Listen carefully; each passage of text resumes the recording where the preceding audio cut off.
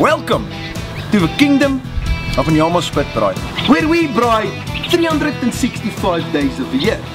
Myself, I'm the braai master, and today I'm gonna teach you guys how to braai some boerewors. Now the secret of boerewors is that it needs to be fresh. Now our boerewors is so fresh that it is almost still hanging on the boer. Now today, we've got three different types of boerewors. We've got plain boerewors, we've got curry boerewors, and we've got some chili boerewors. Now I always taste a piece of the boerewors before I start with the braai process.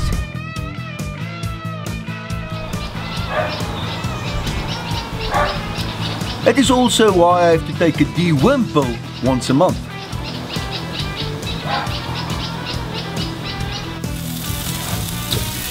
To make the braai process a little bit easier here at the Nyama Spitbraai is this roaster. We call it the John West Flip Grip. Now this makes braai so easy that even your wife can braai. But we know that's not gonna happen because who's gonna clean the kitchen and bring beer to the braaierville?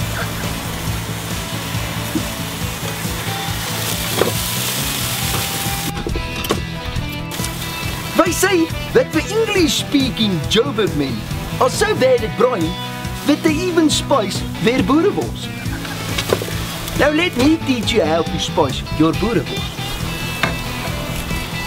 You take the best spice in the world, and Nyama braai sout, and you grind a little bit of it in your hand. Hmm. And that is how you spice your boerewors. To taste if your wors is ready, you take the wors with your tongue and you break it. If it breaks clean off, then you know your wors is ready.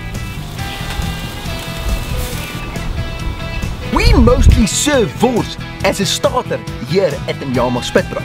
We cut it into small pieces, then as a dip, we only use the finest dip in the world. And Nyama sauce.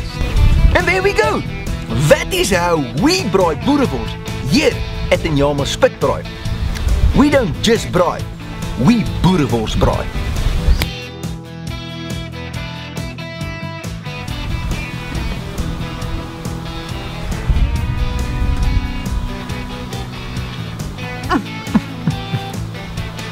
I love wors.